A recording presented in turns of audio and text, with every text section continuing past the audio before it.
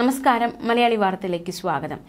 A D G P M R Ajith Kumar R S S നേതാവിനെ കണ്ടു എന്ന ഒരു വിഷയം വലിയ രീതിയിലാണ് വിവാദമായിരിക്കുന്നത്.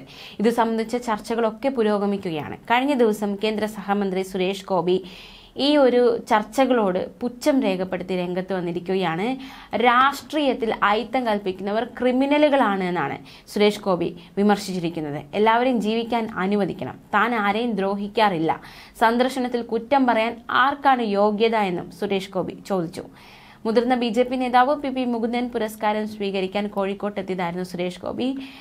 തന്നെ സംഘരാഷ്ട്രീയത്തിലേക്ക് നയിച്ചത് അതിനൊരു മാർഗദർശിയായത് പി പി മുകുന്ദനാണ് എന്നും അദ്ദേഹം ചടങ്ങിൽ പറയുകയുണ്ടായി. അതേസമയം A D G P M R Ajith Kumar ഈ ഒരു ആരോപണങ്ങൾ അടിസ്ഥാനത്തിൽ മൊഴി നൽകിയിരുന്നു. പ്രത്യേക അന്വേഷണ സംഘത്തിന്റെ ചുമതലയുള്ള സംസ്ഥാന പോലീസ് മേധാവി D G P Sheikh Darvesh Sahib നേരിട്ടായിരുന്നു Ajith കുമാറിന്റെ മൊഴി രേഖപ്പെടുത്തിയത്. ഒരു നേതാവിനെ കണ്ടെന്നതിന്റെ പേരിൽ കേരളത്തിൽ നടക്കുന്ന ചർച്ചകളെ കുറിച്ച് തുറന്നടിച്ച് പി എസ് ശ്രീധരൻപിള്ളയും രംഗത്ത് വന്നിരുന്നു. A D G P R S S നേതാക്കളുമായുള്ള കൂടിക്കാഴ്ചയെക്കുറിച്ചുള്ള വിവാദത്തിൽ രൂക്ഷ വിമർശനവുമായാണ് ഗോവ ഗവർണറും രംഗത്ത് വന്നത്.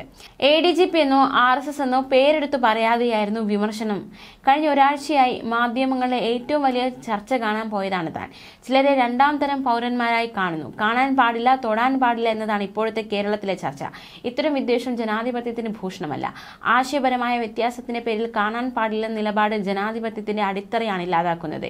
കേരളത്തിൽ നടന്ന പല തിരഞ്ഞെടുപ്പുകളും സഖ്യകക്ഷികളായിരുന്നവരാണ് ഇപ്പോൾ കണ്ടതിന്റെ പേരിൽ വിമർശിക്കുന്നതെന്നും ശ്രീധരൻപിള്ള വിമർശിച്ചു. അതിനിടെ അജിത് കുമാറിനെതിരെ വിജിലൻസ് അന്വേഷണത്തിന് ശുപാർശ ചെയ്തിരുന്നു. D G P Sheikh Darvesh സാഹിബാണ് സർക്കാരിന് ശുപാർശ നൽകിയത്.